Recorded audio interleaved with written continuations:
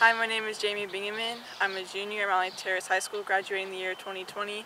I play catcher and outfield for Washington Rush. Thanks for watching my video.